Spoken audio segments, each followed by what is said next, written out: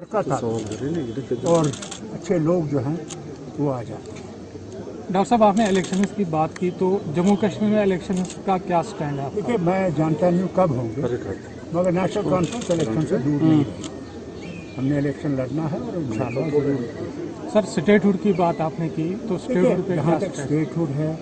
और जहाँ तक तीन सौ सत्तर का मामला है पैंतीस ए का मामला हम तो उसमें डटे हुए हैं। उसमें कोई हम में कोई शिगाफ नहीं आया और इंशाल्लाह एक दिन उसको ज़रूर कामयाबी और सब जिस तरह से अफ़गानिस्तान में हालात बने हुए हैं तो क्या इम्पैक्ट यहाँ पे पड़ सकता है?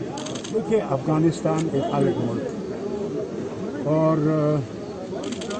उन्हें अब उस मुल्क को संभालना है जो वहाँ पे आए मैं ये उम्मीद करूँगा कि वो इंसाफ हर एक से करेंगे और एक अच्छी हुकूमत चलाएँगे जिसमें वो इंसानी हकूक़ को मद्देनज़र रखेंगे और इस्लामी असूल पर चलाएँगे मैं साथ साथ ये भी कहूँगा कि उन्हें कोशिश करनी चाहिए हर मुल्क के साथ अपने दोस्ताना ताल्लुक पैदा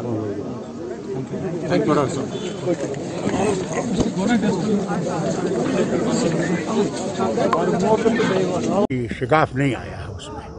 और इंशाल्लाह एक दिन उसको ज़रूर कामयाबी से लेंगे। और सब जिस तरह से अफ़गानिस्तान में हालात बने हुए हैं तो क्या इम्पैक्ट यहाँ पे पड़? सकता है देखिए, अफ़गानिस्तान एक अलग मुल्क है और उन्हें अब उस मुल्क को संभालना जो वहाँ पे आए हैं।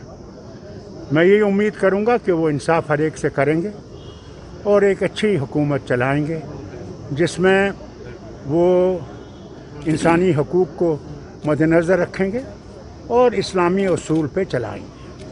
मैं साथ साथ ये भी कहूँगा कि उन्हें कोशिश करनी चाहिए।